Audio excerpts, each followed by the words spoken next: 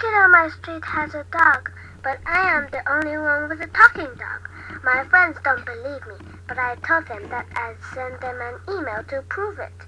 With Crazy Talk, my best furry friend can tell everyone that he's got something to say.